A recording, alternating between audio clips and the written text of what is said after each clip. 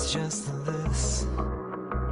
It's not the way I'm wired, so could you please help me understand why you've given into all these reckless, dark desires? You're lying to yourself again, suicidal in the soul, pounding on the fault line.